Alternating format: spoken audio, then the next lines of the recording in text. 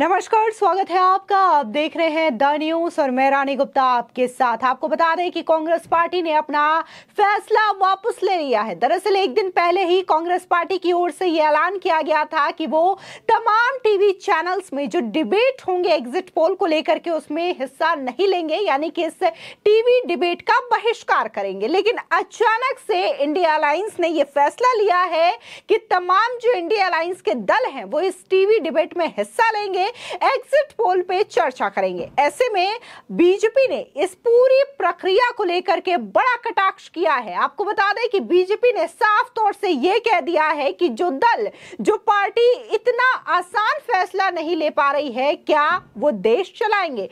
आपको बता दें, इतना ही नहीं, जिस तरीके से ये पूरा प्रोसेस रहा है, वो सवाल ये घेरे में रहा है। कल अचानक से पवन खेड़ा जो है, वो एक बयान जारी करते हैं और ये कहते हैं कि हमारे प्रवक्ता खासकर कांग्रेस पार्टी के जो प्रवक्ता है, वो एग्जिट पोल जो दिखाए जाएँगे एक जून की शाम, उस पर हिस्सा नहीं लेंगे। लेकिन अब जब बैठक होती है इंडिया अलायंस की, जो कि मल्लिकार्जुन खड़गे कांग्रेस अध्यक्ष के घर पर होती है, जहाँ पर तमाम दलों के नेता इस बैठक में शामिल हुए थे तो वही ममता बनर्जी इस बैठक में कहीं भी नज़र नहीं आई। और इस बैठक के बाद एक प्रेस कॉन्फ्रेंस किया जाता है नेताओं की ओर से, जहाँ पर पवन खेरा ने ट्वीट करके इस बात की जानकारी दी है कि उनके नेता, प्रवक्ता इस टीवी डिबेट में हिस्सा लेंगे। इतना ही नहीं, इंडिया अलायंस के जो भी नेता हैं, वो भी इस एग्जिट पोल से संबंधित जो डिबेट होंगे, वहाँ पर हिस्सेदारी करेंगे।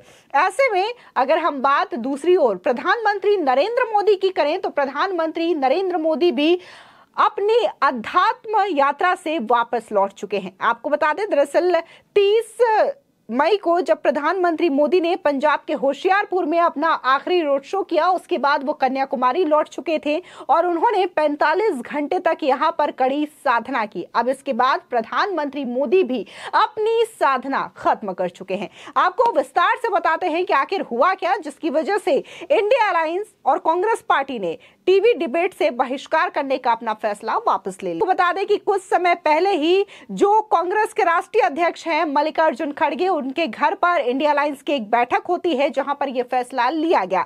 जिसके बाद कांग्रेस प्रवक्ता पवन खेड़ा बकायदा ट्वीट करते हैं अपने सोशल मीडिया साइट पर, जहाँ वो लिखते हैं, इंडिया अलायंस की बैठक में यह निर्णय लिया गया कि एग्जिट पोल से संबंधित बीजेपी व उसके तंत्र को बेनकाब करना आवश्यक है।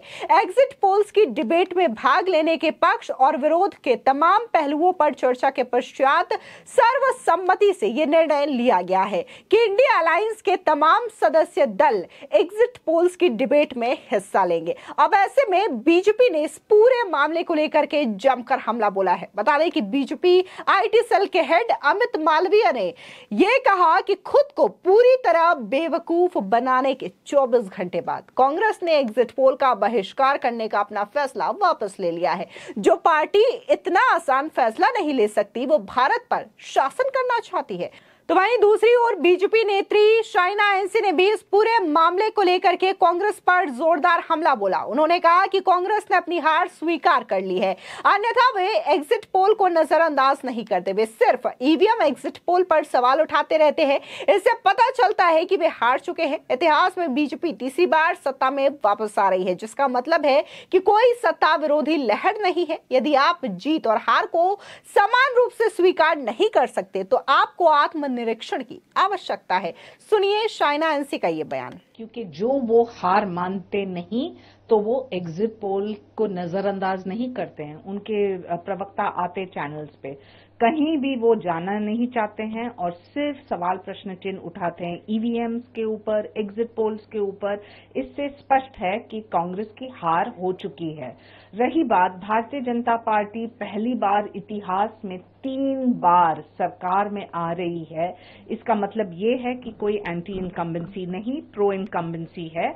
और हम स्पष्ट रूप से मानते हैं कि जनादेश जनता तय करती है। लोकतंत्र, प्रजातंत्र की खूबी ये है, हार जीत होती है, लेकिन जो आप हार और जीत दोनों को स्वीकार नहीं करें तो आपको इंट्रोस्पेक्शन की आवश्यकता है। कांग्रेस पार्टी तो सिर्फ़ बयानबाजी पर उतरी है। कहीं ना कहीं मोदी जी के ऊपर टिप्पणी, कहीं ईवीएम के ऊपर टिप्पणी और कहीं एग्जिट पोल के ऊपर टिप्पणी। ये इंडी अलायंस के पास कोई सोच नहीं, कोई विचारधारा नहीं, कोई विजन नहीं, कोई नीति नहीं, कोई नियत नहीं। सिर्फ़ इकट्ठा होना और ये देखना कि आप मोदी जी को कैसे हरा सकते हैं, ये मात्र उनका एक लक्ष्य है। लेकिन जनता और जनादेश तय करती है कि मोदी जी की हार या जीत होगी और यहाँ विश्वास के साथ कह सकते हैं कि कोई एंटी इनकम्बेंसी नहीं है प्रो इनकम्बेंसी है। इसलिए भारतीय जनता पार्टी की जीत हो रही है। कांग्रेस पार्टी बार बार लगातार ये कहना कि ईवीएम को लेकर सवाल प्रश्न चिन्ह एग्जिट पोल को लेकर सवाल प्रश्न चिन्ह, इससे अच्छा आप प्रश्न चिन्ह आप खुद के ऊपर कीजिए कि आपकी हार इतना क्यों हो रहा है कि यहाँ तक कि आप एक रीजनल पार्टी भी नहीं रहेंगे आते हुए दिन में? आपको बता दें, जिस तरीके से ये बैठक हुई है, उसमें मल्लिकार्जुन खड़गे ने मीडिया को संबोधित करते हुए ये कहा कि इंडिया अलायंस जो है, वो दो सौ पंचानवे से अधिक सीटें लाने जा रही है। जबकि हम पिछले आंकड़ों को उठा करके देखें तो राहुल गांधी ने अलग आंकड़ा दिया था, अखिलेश यादव ने अलग आंकड़ा दिया था, अरविंद केजरीवाल ने अलग आंकड़ा दिया था। अगर हम आंकड़ों की बात करें तो आंकड़ों को लेकर के भी इंडिया अलायंस में काफ़ी ज़्यादा कंफ्यूजन की स्थिति देखने को मिली, जबकि अगर हम एनडीए की बात करें बीजेपी की बात करें तो ये शुरू से ही 400 पार का नारा लेकर के चल रहे थे और इसमें कोई मतभेद नज़र नहीं आ रहा। अभी भी तमाम जो बीजेपी के नेता हैं, उन्हें पूरा विश्वास है कि इस बार वो 400 पार सीटें ला करके रहेंगे। खैर, देखना दिलचस्प होगा कि जब 4 जून को चुनावी नतीजे आएँगे तो इसमें क्या होता है, कौन पार्टी कितनी सीटें लाती है, लेकिन प्रधान प्रधानमंत्री नरेंद्र मोदी की बात करें तो पीएम मोदी की 45 घंटे की ध्यान साधना पूरी हो चुकी है। मोदी ने गुरुवार शाम से देश के सबसे दक्षिणी छोर पर स्थित कन्याकुमारी के प्रसिद्ध विवेकानंद रॉक मेमोरियल में 45 घंटे की ध्यान साधना शुरू की थी।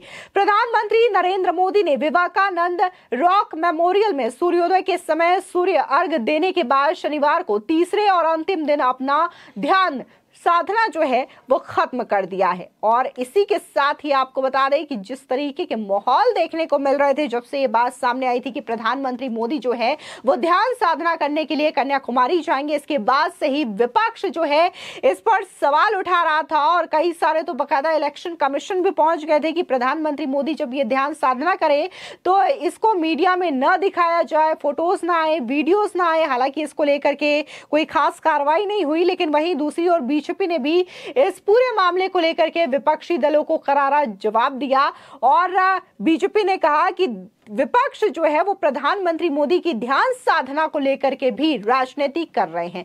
बता दें कि बीजेपी ने यह कहा कि विपक्ष के लोग ना तो भारत को समझते हैं और ना ही भारतीयता को समझते हैं।